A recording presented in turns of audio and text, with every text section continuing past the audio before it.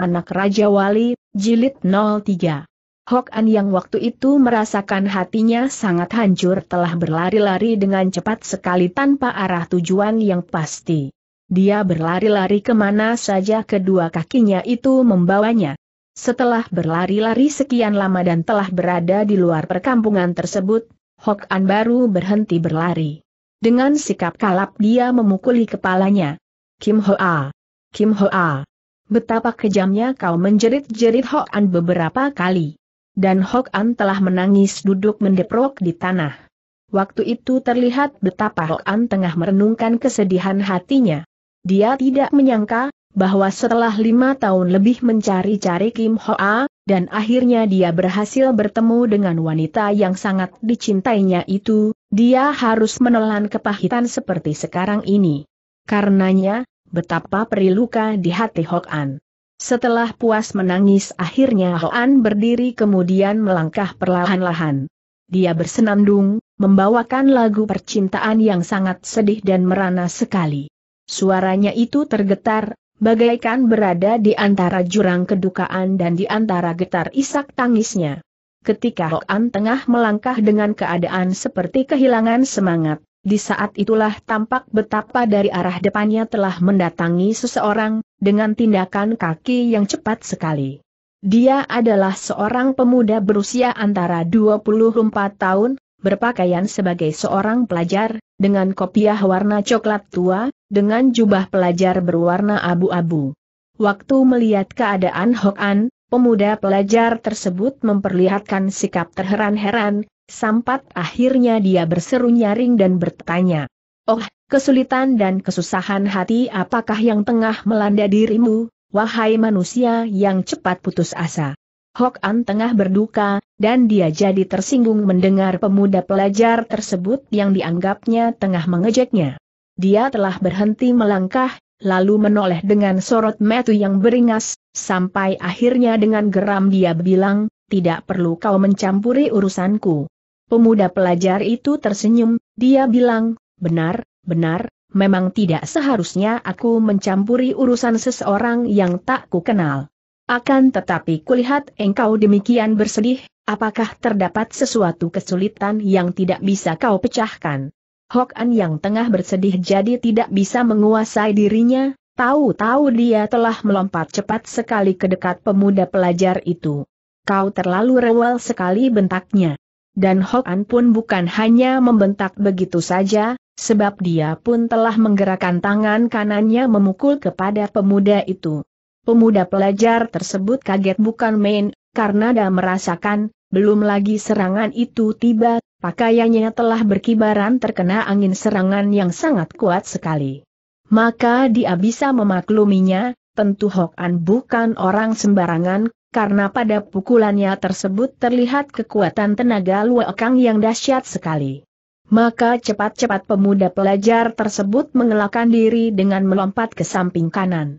Ohoi, betapa berbahaya sekali. Betapa berbahaya sekali kata pemuda pelajar itu kemudian dengan suara bergurau.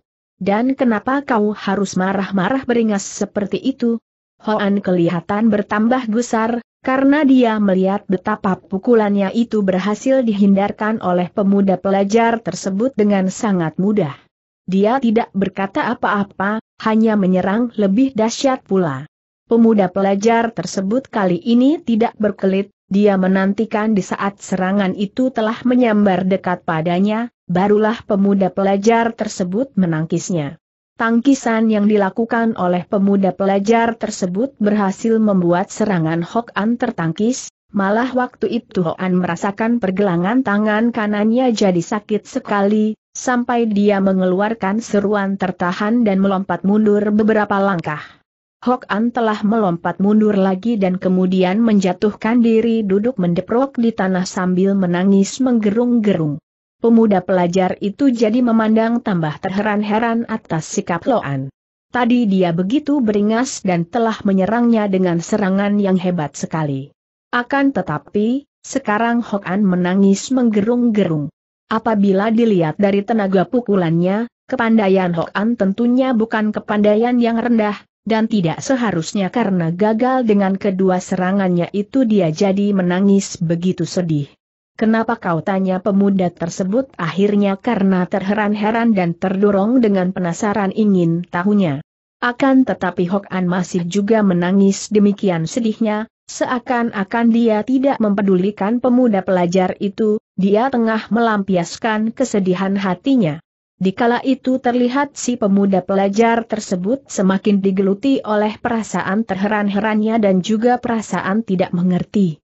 Apakah memang benar engkau tengah menghadapi kesulitan yang tidak bisa dipecahkan olehmu sendiri? Jika memang kau mau menceritakan kesulitan itu kepadaku, siapa tahu aku bisa membantumu. Mendengar pertanyaan terakhir dari pemuda pelajar ini, tiba-tiba Hok An mengangkat kepalanya. Hem, engkau hendak membantuku? Benarkah itu tanya Hok An sambil menyusut air matanya. Pemuda pelajar tersebut mengangguk dengan segera dan pasti. Ya, kau ceritakanlah, kesulitan apa yang tengah kau hadapi? Jika memang aku bisa membantumu, tentu aku ingin sekali membantu kau dari kesulitan yang ada itu. Hokan tidak segera bicara, dia berdiam dengan air mata yang terus turun berlinang, setelah menyusut lagi, barulah dia bilang, sebenarnya, sebenarnya, Aku tengah merasa terhina sekali. Merasa terhina? Oleh siapa? Mengapa begitu tanya pemuda pelajar tersebut? Hokan tidak segera menyahuti, dia mengangkat kepalanya mengawasi pelajar tersebut. Sampai akhirnya dia menghela napas dalam-dalam dan menghapus air matanya, karena dia rupanya memang telah berhasil menguasai dirinya. Sebenarnya, kata Hokan akhirnya, Aku tengah bersakit hati dihina oleh seseorang. Siapa yang menghinamu tanya pemuda pelajar tersebut dengan perasaan ingin tahunya. Menurut apa yang kulihat, engkau memiliki kepandaian yang cukup tinggi, dan tidak sembarangan orang bisa menghinamu. Hokan mengangguk. Benar, akan tetapi orang itu menghinaku bukan tubuh atau juga diriku, dia menghinaku dengan kata-katanya menyahuti Hokan akhirnya, dengan suara yang tersendat di antara isak tangisnya. Mengapa engkau membiarkan begitu saja dirimu dihina oleh orang itu tanya pelajar tersebut. Aku, aku, apa yang harus kulakukan tanya Hokan seperti tergagap.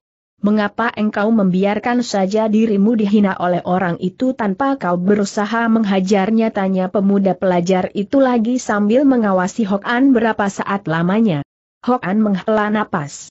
Apa yang bisa kau lakukan, justru yang telah menghina diriku itu adalah orang yang sangat kucintai kata Hokan pada akhirnya. Apa tanda seru tanya pemuda pelajar itu tambah terheran-heran lagi dan tidak mengerti. Hokan menghela napas sambil mengangguk. Ya, orang yang telah menghina diriku itu adalah orang yang sangat kucintai, akan tetapi dia telah menghina diriku, memperlakukan aku tidak baik, dan juga mendustai diriku sehingga perasaanku jadi hancur kata Hoan akhirnya.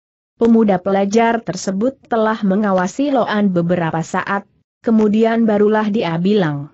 Jadi menghina dirimu itu seorang wanita. Hoan mengangguk. Ya, wanita yang sangat kucintai sahutnya kemudian. Jadi kau mencintai wanita itu tanya pemuda pelajar itu lagi. Benar. Hanya saja wanita itu telah menolak cintamu tanya pemuda pelajar itu lagi. Hokan tidak segera mengiyakan, dia mengangkat kepalanya mengawasi pemuda pelajar tersebut beberapa saat lamanya. Sampai akhirnya dia bilang perlahan-lahan, Sebenarnya wanita itu juga sangat mencintai aku. Pemuga pelajar ini tambah terheran-heran. Aku tidak mengerti maksud dari perkataanmu, tadi kau mengatakan bahwa engkau dihina oleh wanita yang engkau cintai itu, tentunya dia mengeluarkan kata-kata yang kasar dan menghina. Akan tetapi sekarang engkau mengatakan bahwa wanita itu juga sangat mencintaimu. Jika memang wanita itu mencintaimu, Mengapa dia bisa menghina dirimu? Menyakiti perasaan dan hatimu. Hokan tidak segera menyahuti, untuk sementara waktu dia menghela napas beberapa kali barulah kemudian menjelaskannya. Sebenarnya, kami berkenalan enam tahun yang lalu, waktu mana memang di antara aku dengan wanita itu saling mencintai. Akan tetapi, suatu hari, aku telah berurusan dengan pihak pemerintah, sehingga aku ditangkap oleh yang berwajib, dan akhirnya ditahan selama setahun lebih. Hal itu terjadi memang atas dasar kesalahanku juga, di mana aku sudah minum arak terlampau banyak sehingga mabok, lantas dalam keadaan mabok seperti itu aku sudah bertengkar dengan seorang tentara kerajaan hingga akhirnya aku telah membunuhnya. Maka dari itu, aku telah tertangkap dan diadili oleh pihak Taikuan, di mana aku ditahan dan dimasukkan ke dalam penjara selama setahun lebih. Setelah bebas dari tahanan itu, aku segera mencari wanita yang sangat kucintai itu. Akan tetapi dia sudah tidak berada di kampung kami, dia sudah pergi entah ke mana. Akhirnya kuputuskan buat mencarinya sampai dapat menemukannya. Begitulah, selama lima tahun lebih aku telah mencari-carinya, sampai akhirnya aku dapat menemukannya di kampung itu. Sambil berkata begitu, Hok An telah menunjuk ke arah perkampungan di dekat mereka, sedangkan si pemuda pelajar telah mengikuti arah yang ditunjuk oleh Hok An. Kemudian bagaimana tanya pemuda pelajar itu, yang jadi sangat tertarik mendengar cerita Hok An seperti itu. Apakah wanita itu sudah tidak mencintaimu? Bukan, bukan begitu menyahuti Hok An cepat dan dengan nada yang tergetar. Lalu bagaimana? Mengapa kau bisa mengatakan bahwa wanita itu akhirnya menghina dirimu? Hok An menghela napas dalam-dalam. Wanita itu ternyata tidak mencintai aku, aku telah memperoleh buktinya menyahuti Hok An. Mengapa terjadi begitu tanya pemuda pelajar tersebut? Karena waktu aku berhasil menemukan jejaknya, dia telah menjadi milik orang lain, telah menjadi istri dari seorang hartawan, dia telah menjadi nyonya bin, istri dari bin Wan Gwe. Oha, kiranya dia telah menipuku dengan semua pernyataannya bahwa dia sangat mencintaiku. Oh, oh, dia telah begitu tega buat mendusaiku dan Hokan menghela napas beberapa kali lagi. Walaupun Hokan berusaha membendung dan mencegah mengucurnya air mata, akan tetapi dia tidak berhasil, karena butir-butir air mata itu telah berlinang turun di pipinya. Sedangkan si pemuda pelajar tersebut jadi menghela napas dalam-dalam. Dia jadi menaruh rasa iba dan kasihan kepada Hokan. Sudahlah hiburnya. Jika memang kau telah memperoleh bukti bahwa wanita itu tidak mencintaimu, Terlebih lagi memang dia sekarang telah menjadi istri orang lain, engkau pun tidak usah memikirkannya lagi, dan engkau pun tidak perlu untuk mengharapkan dirinya lagi. Engkau boleh memilih wanita lain yang sekiranya bisa mencintai dirimu. Hok An cepat-cepat menggeleng waktu mendengar perkataan pemuda pelajar tersebut. Kau jangan kurang ajar katanya dengan sikap yang beringas dan sengit. Mengapa kau mengatakan aku berbuat kurang ajar? Bukankah aku berkata dengan benar, bahwa engkau tidak usah mengharapkan wanita yang telah mengkhianati cintamu itu dan kini telah menjadi istri orang lain tanya pemuda pelajar itu. Hem, apakah kau kira cinta itu mudah untuk dilupakan dan dibuang seperti itu? Hem, apakah engkau kira dengan mudah kita akan segera dapat mencintai wanita lain kata Hoan bertambah sengit. Pemuda pelajar itu jadi bungkam mendengar perkataan Hok An seperti itu. Sedangkan Hok An seperti kalap telah berkata, Ayo, kau katakan, tidakkah apa yang ku bilang itu benar, bahwa cinta itu tidak bisa sembarangan diberikan kepada siapa saja? Aku telah mencintai wanita itu, walaupun dia telah menjadi istri orang lain, akan tetapi aku tetap mencintainya. Hanya saja dia telah menghina dan menyakiti hatiku. Pemuda pelajar tersebut menghela napas. Nah, jika memang wanita itu telah menjadi istri orang lain, walaupun engkau tetap mencintainya, apa gunanya lagi? Atau memang engkau masih mengharapkan dirinya? Bukankah jika kau berusaha memperolehnya, sama saja engkau menghancurkan rumah tangganya? Akan tetapi aku tetap mencintainya, dan semula, Semula kukira dia mencintaiku kata Hokan kemudian dengan suara yang sember. Walaupun apa yang terjadi, aku ingin mengajaknya buat ikut bersamaku, karena aku tetap mencintainya. Akan tetapi, akan tetapi. Suara Hokan semakin semer dan dia tidak meneruskan perkataannya itu. Akan tetapi kenapa tanya pemuda pelajar tersebut yang jadi semakin tertarik ingin mengetahui apa yang telah dialami oleh Hok An. Akan tetapi, tadi, tadi waktu untuk pertama kali bertemu setelah lima tahun lebih kami berpisah, dan sekarang dia telah menjadi milik orang lain, dia baru mengakui bahwa sejak dulu sampai kini, dia, dia tidak pernah mencintaiku, tidak pernah mencintaiku, dan suara Hok An semakin sumber, malah air matanya telah menitik turun deras sekali. Oh, jadi tadi dia menyatakan bahwa dulu dia tidak pernah mencintaimu tanya pemuda pelajar itu. Hokan mengangguk. Bahkan, dia telah mengusir diriku kata Hokan kemudian. Pemuda pelajar tersebut tertawa. Jika demikian, tidak ada harganya kau mencintai wanita seperti itu kata pemuda pelajar tersebut. Tiba-tiba, Bagaikan tersentak oleh gigitan kala jengking, tampak Hok An telah mengangkat kepalanya dan memandang pemuda pelajar itu dengan sorot mata yang sangat tajam dan beringas sekali. Apa kau bilang tanyanya dengan suara yang mengandung kemarahan. Aku mengatakan wanita itu tidak sepantasnya kau cintai menyahuti pemuda pelajar tersebut. Oh, pemuda terkutuk. Engkau jadi ingin mengejek diriku, heh tanya Hok An dengan sengit. Sabar, aku sama sekali tak bermaksud mengejek dirimu, akan tetapi memang sudah sepantasnya jika aku memberitahukan kepadamu, bahwa wanita seperti itu sama sekali tidak ada harganya untuk kau cintai.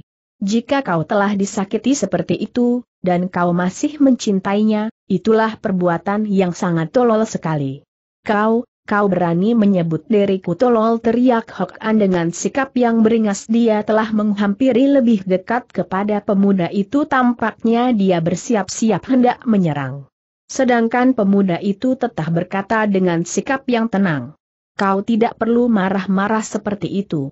Mari kita bicara secara baik-baik, karena aku akan menjelaskan duduk persoalan ini, agar engkau tidak menjadi korban kekecewaan disebabkan cintamu yang gagal itu.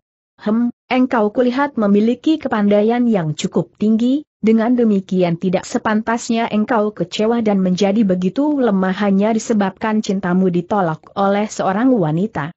Hok An tampak tertegun, dan dia mengawasi pemuda pelajar itu dengan sorot mata yang bimbang, sampai akhirnya dia bilang, baiklah, lalu apa maksudmu dengan berkata begitu tanyanya. Aku ingin mengartikan bahwa engkau masih dapat melakukan banyak perbuatan besar, pekerjaan-pekerjaan penting yang bisa membawa kebahagiaan dan keuntungan buat orang banyak pada umumnya. Mengapa engkau harus selalu menangisi cintamu yang kandas dan gagal itu, Terlebih lagi engkau pun mengetahui wanita yang kau cintai itu telah menjadi istri orang lain tanda seru.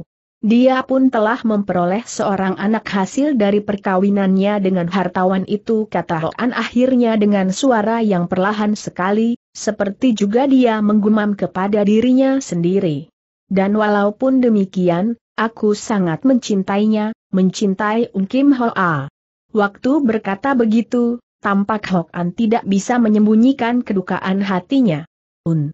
Un Kim Hoa tanya pemuda pelajar tersebut seperti tersentak kaget. Kau mengatakan wanita yang kau cintai itu adalah Un Kim Hoa. Hok An mengangguk. Ya, kan kini dia telah menjadi Bin Hujin, karena dia telah menikah dengan hartawan si Bin itu menyahuti Hok An. Wajah pemuda pelajar tersebut semakin berubah memperlihatkan sikap sungguh-sungguh. Jadi, jadi yang kau maksudkan adalah istri dari orang yang bernama Bin Chiok Lang tanya pemuda pelajar tersebut. Hok An tidak segera menyahuti, dia merasakan adanya sesuatu kelainan pada nada pertanyaan dari pemuda pelajar tersebut. Namun akhirnya dia menggeleng. Nama suaminya aku tidak mengetahui, aku hanya mengetahui senya saja, dia si Bin kata Hok An akhirnya. Pemuda berpakaian sebagai pelajar tersebut telah menghela napas, katanya dengan suara yang menggumam, aneh, mengapa bisa terjadi urusan yang kebetulan seperti ini? Mengapa bisa terjadi demikian kebetulan? Hok An jadi mengawasi pemuda pelajar itu beberapa saat lamanya, dia tidak mengerti akan sikap pemuda pelajar tersebut. Sampai akhirnya dia bertanya, apa maksudmu dengan mengatakan semuanya terjadi begitu kebetulan? Pemuda pelajar ini telah mengawasi Hok An dengan sorot mata yang tajam, sikapnya telah berubah dibandingkan dengan tadi. Siapakah kau sebenarnya? Siapa Shi dan namamu tanya pemuda pelajar itu. Aku? Aku Hok An menyahuti Hok An tanpa sanksi sedikit pun juga. Pemuda pelajar itu termenung sejenak, sampai akhirnya tiba-tiba dia berkata dengan suara yang bersenandung. Langit dengan megah, hujan dengan petir, tanah dengan pohon. Siapakah yang bisa merubah semua itu? Dan kemudian dia menoleh kepada Hoan, tanyanya lagi, kau mengetahui di mana rumahnya Bin Wan Gwe itu? Hoan mengangguk. Ya, aku baru saja dari rumahnya menyahuti Hoan. Hem, bisakah kau mengantarkan aku ke sana tanya pemuda pelajar itu pula. Mengantarkan kau ke sana tanya Hoan sambil mementang sepasang matanya lebar-lebar. Apa maksudmu meminta aku mengantarkan engkau ke sana? Untuk menemui Bin Chiok Lang menyahuti pemuda pelajar tersebut. Untuk apa tanya Hoan? Untuk membunuhnya. Dan jika memang dia telah kubunuh, berarti istrinya menjadi janda, kau boleh mengambilnya menyahuti pemuda pelajar tersebut. Hok An jadi tersentak kaget, dia telah memandang pemuda pelajar tersebut dengan sorot mata yang sangat tajam, kemudian katanya, Oh, siapakah kau sebenarnya? Mengapa engkau ingin membunuh hartawan si Bin itu? Ada urusan apakah antara kau dengannya? Pemuda pelajar itu memperdengarkan suara tertawa yang dingin. Hartawan busuk itu harus dibinasakan, dan kau tidak perlu banyak bertanya. Karena jika usahaku itu telah berhasil, bukankah kau bebas buat memiliki istrinya, wanita yang kau cintai itu? Muka Hoan berubah jadi pucat, bola matanya memain tidak hentinya, dan akhirnya dia bilang, jika demikian, jika demikian, mari kuantarkan kau ke rumah hartawan Sibin itu. Pemuda pelajar itu mengangguk.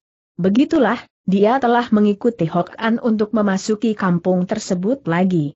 Hok An telah mengajak pemuda pelajar itu ke depan rumah Bin Wan Gwe. Waktu itu keadaan di rumah Bin Wan Gwe sangat sunyi sekali, tidak terlihat seorang manusia pun juga. Rupanya para tukang pukul dari Bin Wan Gwe tengah merawat diri dari luka-luka yang mereka derita. Kau ketuklah pintu, dan nanti aku yang akan membunuh hartawan busuk itu kata pemuda pelajar tersebut tanpa rewelan mengiyakan dan telah menghampiri pintu, yang diketuknya dengan kuat. Dia mengetuk sampai pintu itu tergetar keras. Tidak lama kemudian pintu terbuka, dari dalam melongok seseorang. Hokan tidak sabar, dia mendorong terbuka daun pintu tersebut. Karena ditolak dengan dorongan yang mengandung kekuatan sangat besar, Daun pintu itu menjeblak dan telah membuat orang yang berada di balik daun pintu tersebut kena diterjang daun pintu itu, sampai dia terjengkang dan bergulingan di tanah beberapa kali. Hoan kemudian dengan langkah lebar telah memasuki rumah tersebut. Sedangkan pemuda pelajar itu juga mengikuti di belakangnya. Dari dalam rumah tersebut, telah keluar dua orang tukang pukul Bin Wan Gwe.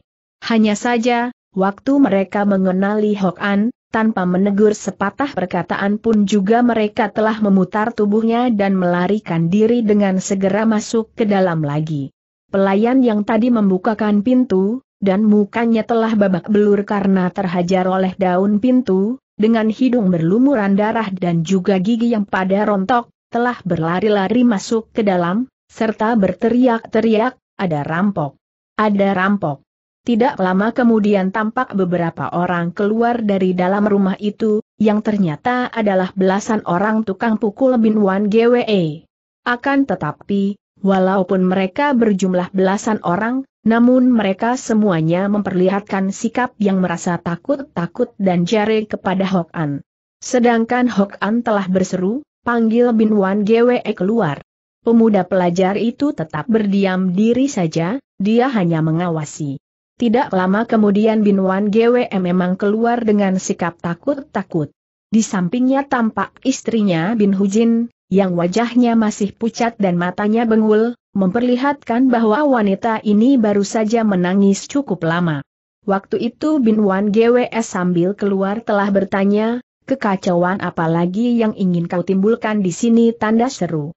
Akan tetapi baru berkata sampai di situ, dia telah melibat si pemuda pelajar, dia tersentak kaget, wajahnya yang memang telah pucat itu semakin pucat saja. Kau serunya. Kau juga datang kemari? Pemuda pelajar itu telah mendengus dingin. Hem, sekarang telah tiba waktunya buat kau menghadap Giam Loong, membayar penasaran kedua orang tuaku kata pemuda pelajar itu.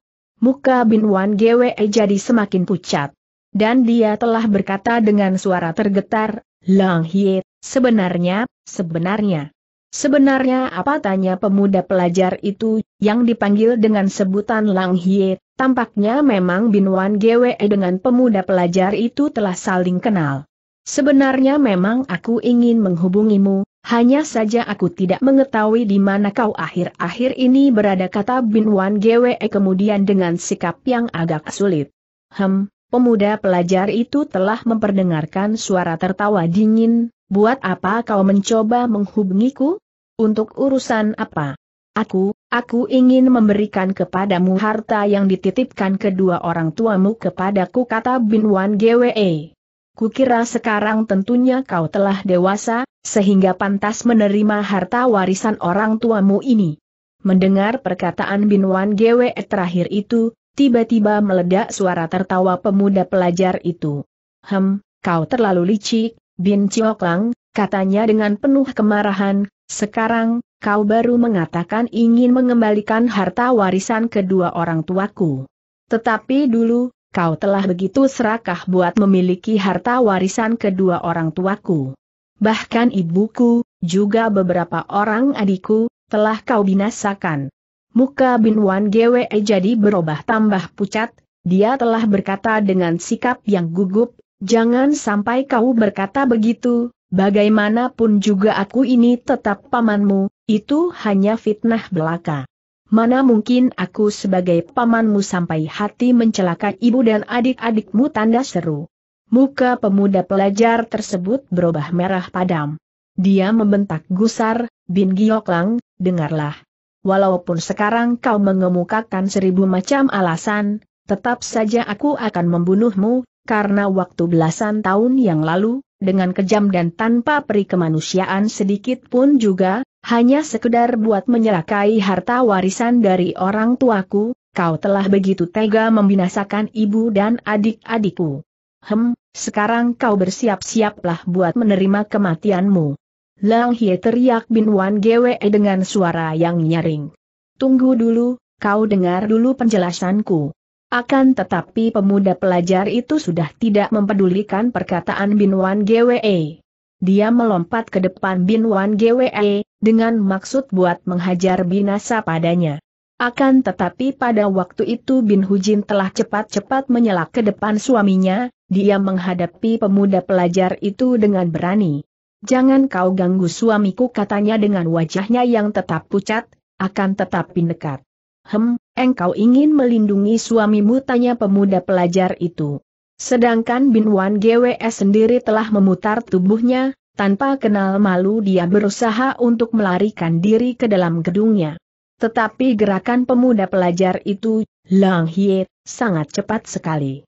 Dia telah melompat ke samping Bin Wan GWE, kemudian menghantam dengan telapak tangan kanannya pada punggung Bin Wan GWE. Seketika Bin Wan GWE jadi terjungkal di atas lantai bergulingan. Sedangkan Bin Hujin menjerit menyaksikan itu dan cepat-cepat menubruk suaminya yang dipeluknya kuat-kuat seakan juga nyonya tersebut melindungi suaminya dengan tubuhnya, jika saja ada sesuatu yang bisa mengganggu keselamatan suaminya. Bin Wan GWS sendiri telah memuntahkan darah segar sebanyak tiga kali, darah yang menggenang di lantai begitu mengerikan sekali, mengiriskan hati.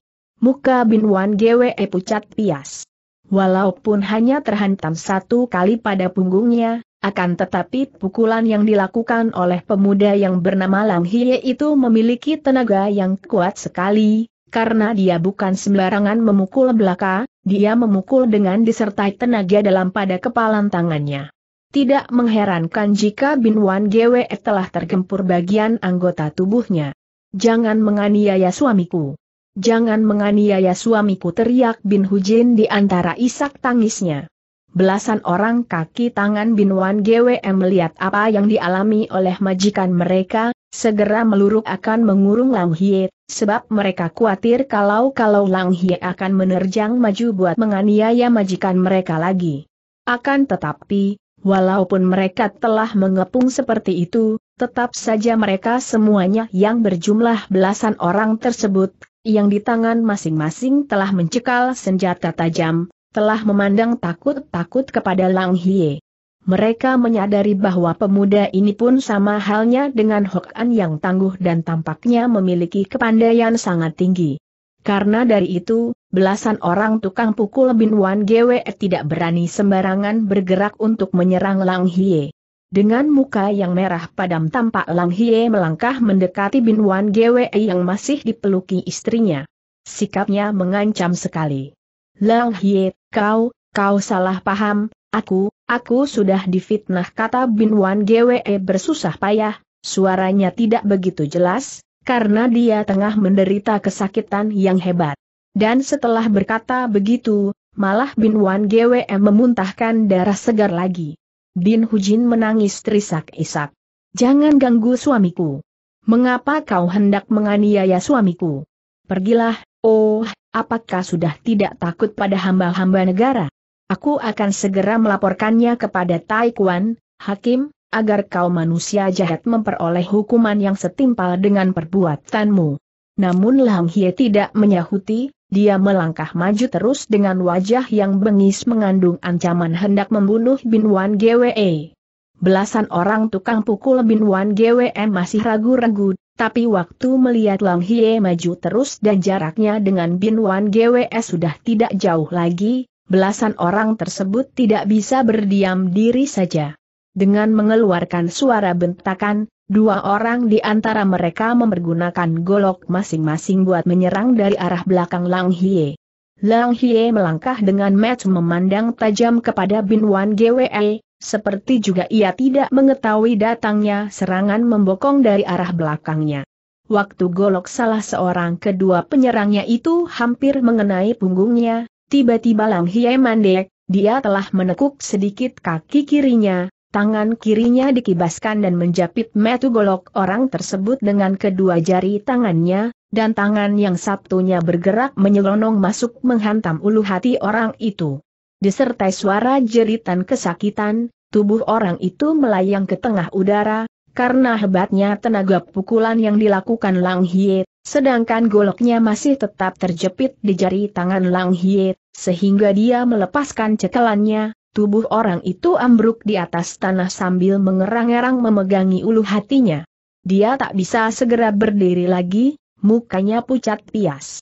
Tenang sekali Lang Hie menggerakkan golok yang dijepitnya buat menangkis golok yang satunya lagi, yang tengah menyambar ke arahnya. Benturan terjadi, golok Lang Hie, yang hanya dijepit saja oleh kedua jari tangannya itu telah berhasil membuat golok lawannya patah menjadi dua. Kemudian Lang Hie mematahkan golok rampasannya. Siapa yang berani ikut campur urusanku bentak Lang Hie dengan suara yang menyeramkan, dari matanya memancarkan sinar yang mengandung hawa pembunuhan.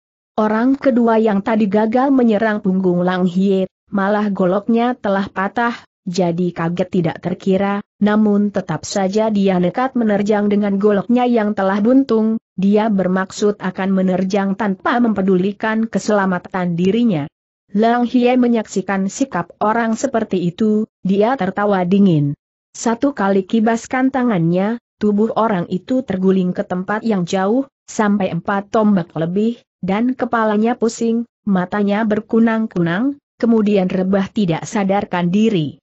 Lima orang lainnya, tidak membuang-buang waktu menyerang juga, Walaupun hati mereka gentar menghadapi pemuda yang tampaknya memiliki kepandaian yang tinggi itu, akan tetapi keselamatan majikan mereka tengah terancam, karena dari itu, mereka nekat menerjang maju.